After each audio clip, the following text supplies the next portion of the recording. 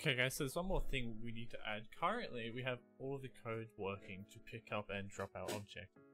But we're not calling upon our physics handle interactions. So the way we want to do that is create a event tick.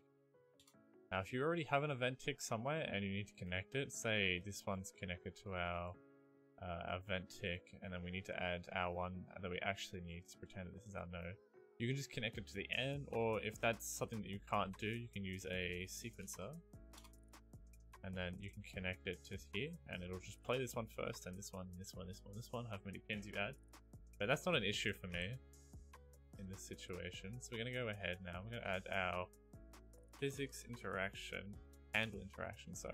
Uh, I changed the name of it. I know I called it something else, but I just changed the name of it. It's just whatever you call this event is what you gotta call up here. And this will then play through this and it just does it every tick checking. The thing that stops it from just constantly doing it is it'll check to see if the physics handle is active. If it is active, and then it will just play everything else.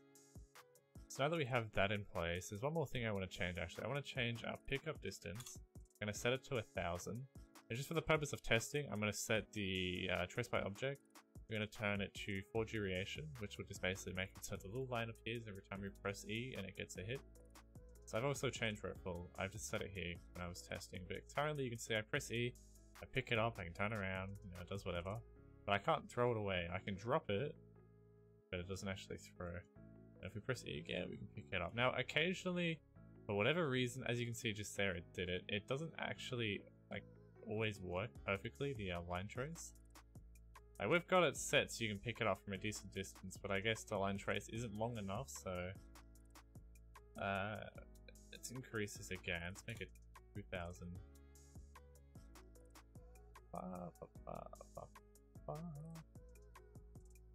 Yeah. So now we can see the line trace is longer, but again, still sometimes it just doesn't work. So you will have issues with that sometimes.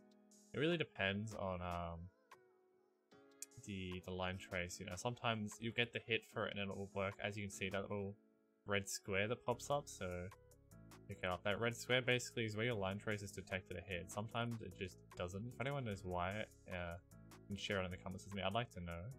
I've done a little bit of research into it, as far as I can tell, it's not something that's easily fixable unless I've just done really shitty research.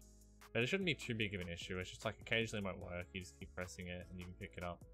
Anyway, we now need to add our uh, code to make it so that we can throw it now.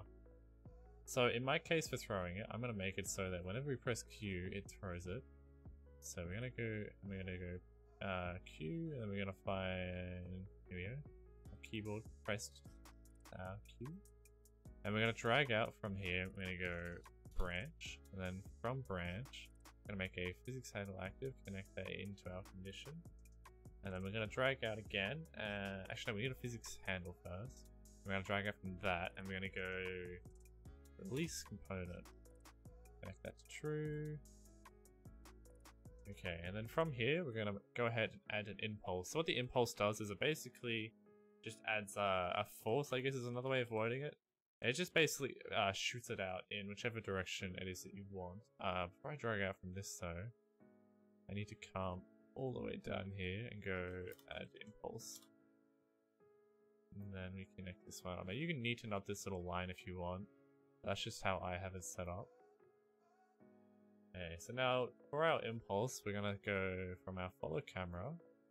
We're then gonna go get uh, forward vector. And we're gonna drag out and we're gonna go times by float. And then I'm gonna do an impulse of let's say uh, let's do something really high. Let's do 10,000. Connect that one up. And then at the end of it, we need to make sure we set our physics handle active to false off, I guess. Okay, now, when we go back in now, we can make sure that when we press Q, it's not moving. So we haven't currently got it selected, so when we press Q, it shouldn't move. If it is moving, you've just messed up, so make sure you go back in and double check. And now when we press C, we can pick it up, and now when we press Q, it will release it and throw it. Now, if you want yours to throw uh, further, you just got to increase your impulse. So to do that, uh, you can do it one of two ways, actually. You can just increase this number here. So let's say we make it something crazy. Let's go 100,000. Come back in. Let me select our object again. and we press Q, and I mean, yeah, it's it's gone into orbit. Uh, you can do it that way, so you can just increase this number. I'm gonna leave it at like 15,000. Or uh, another way to do it is if you come into your interactable object and you select the cube and then we select the mass. Say we set this to a lower number like 5 or something, it'll make it go a lot further because the mass is how much it weighs. We got a 15,000. I think that's fine. Now you can run around, you've got your objects. Say this was Gmod, you'd have your uh, your effects, your lightning, all your different things on your screen. And then if I pick it up and then throw it, you'd have, you know, the lightning shoots out the sound effect, whatever, and then you'd have it so that whenever this thing, uh, with a certain amount of force touches a, or a certain amount of velocity, sorry, touches a, uh, an enemy or whatever, you would then make it so that it destroys the actor and kills it.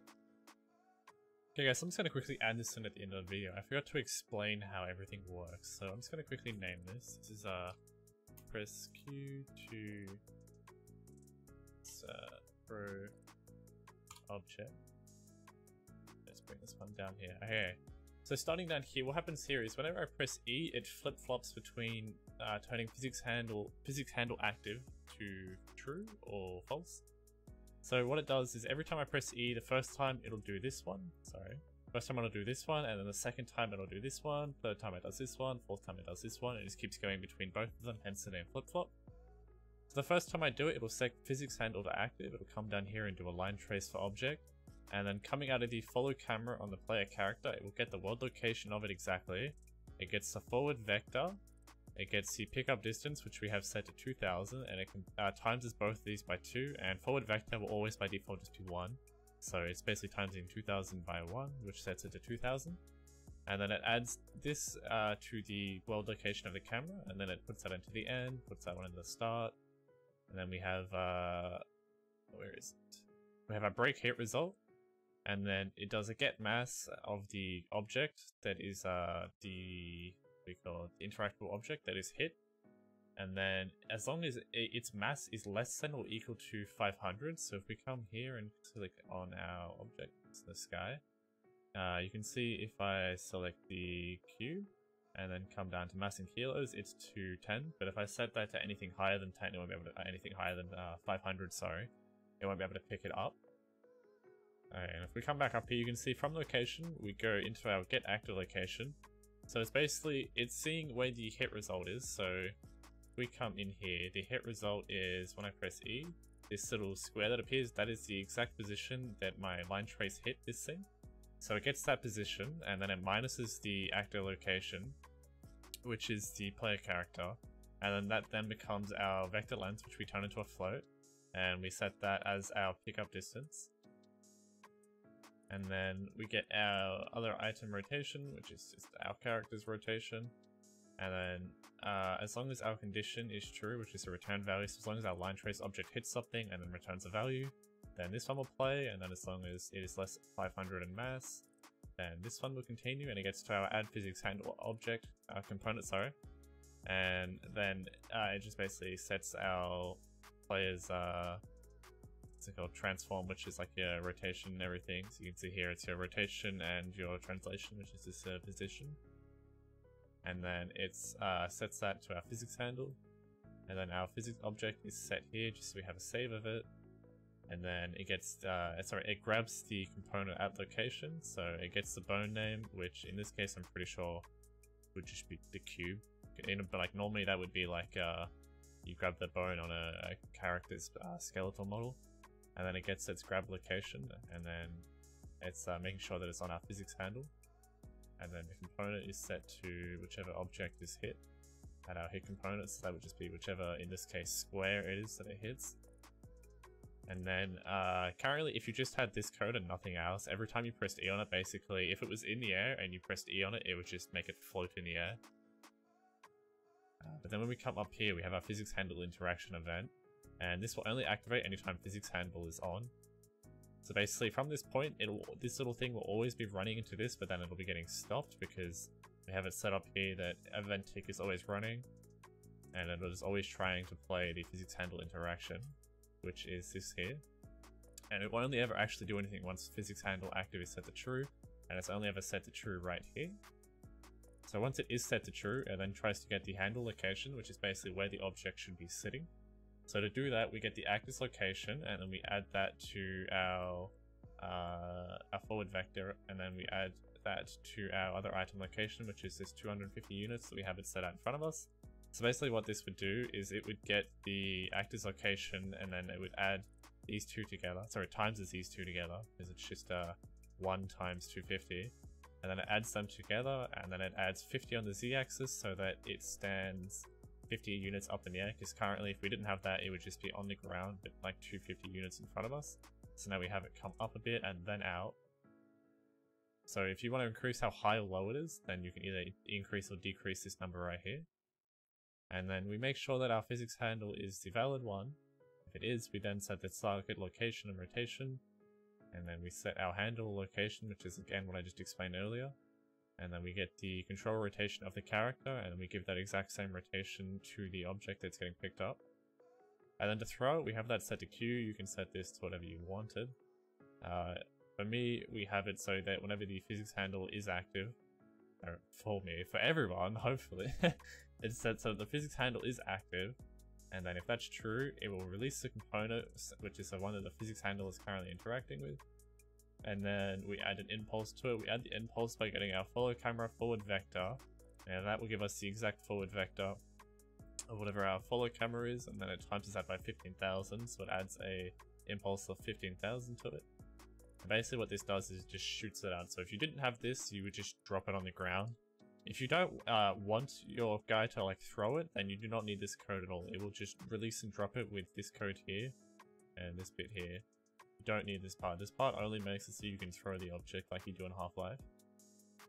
And then we just make sure that we set it again to false. If you had it always active, then it would be trying to play this one again and you would basically just never release it. You wouldn't be able to let go of it and just constantly like pick it up uh, also, one more thing I should quickly mention is if you want to have multiple uh, items that you can pick up, what you should do is you should make a master object. So in this case, my master object will be this one here, and then I'll make a child of it. And then this child object, instead of having a cube, we'll go ahead and turn this into a a chamfered cube, and then we'll make this one smaller. So we go 0.5 by 0.5 by 0.5.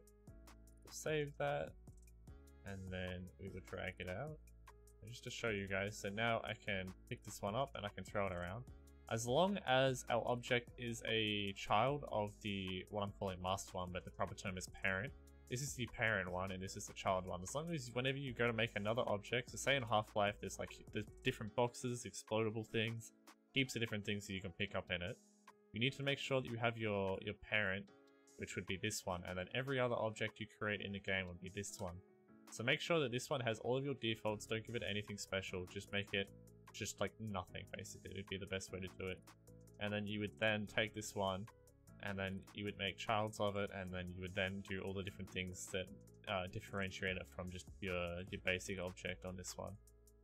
I hope that makes sense, that might not, but basically as long as your thing is a child of this one, sorry, a child of this one, then you'll be able to have as many items as you want and have them uh, all picked up but uh, that's all for this tutorial. If you want to see anything else similar to this, like another video game mechanic, let me know down below in the comments and I'll be sure to show it. Uh, if you get stuck on this tutorial at any point and need my help, there will be a link in the description with the project file for this so you can look at my code and see how I did everything, compare it to yours. If that still doesn't help you though, you can uh, post a comment below and I'll help you out straight away. Anyway guys, this has been another Unity tutorial. I hope to see you next time.